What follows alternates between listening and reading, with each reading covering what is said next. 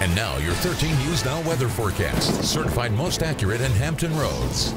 Well, earlier this evening, temperatures were dropping rather quickly. Now they've started to level off a little bit. We had talked about that earlier, and we're still sticking with that part of the forecast. The reason, southerly winds starting to blow in, and that's going to mean some warmer temperatures again during the day tomorrow. Today, we were not quite 10 degrees warmer in most spots than yesterday.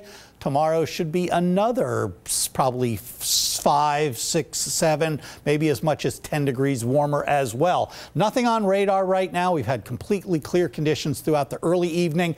Now we'll see just a few clouds moving in late tonight mid 30s for somewhat inland or rural spots, actually some low 30s, really, really inland, but most of us will say between about 35 and 38 degrees. Right now we're holding at 41 in Norfolk.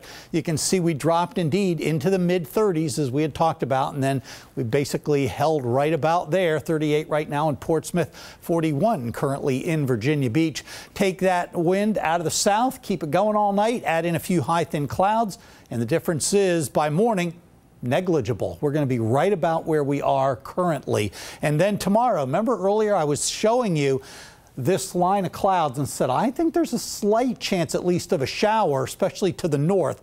I still think that's the case. Anything that falls here in the metro area, I think this is now overdone. Before it was underdone.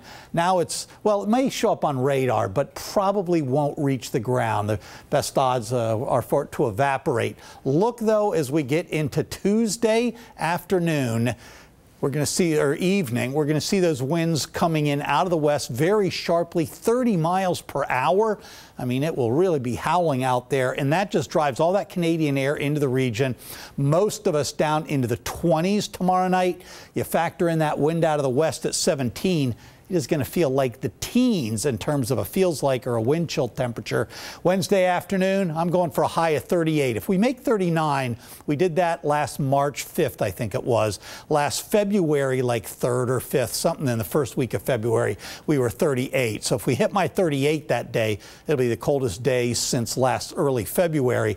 Wednesday night into early Thursday, a few isolated light and mixed showers are possible. And then look at that wind still howling again during the day on Thursday. So tonight, here comes that front, the one that we said by tomorrow has a slight risk of bringing us again a little bit of something in northern areas. And then we're going to get what's called an Alberta Clipper.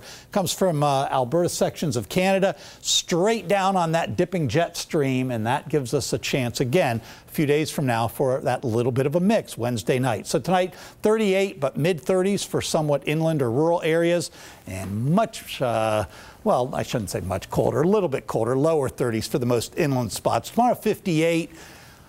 Hopefully, a couple of spots can hit 60, at least on some bank thermometers, that kind of thing. 38, though, Wednesday, and it'll mm. feel like the 20s at the highest.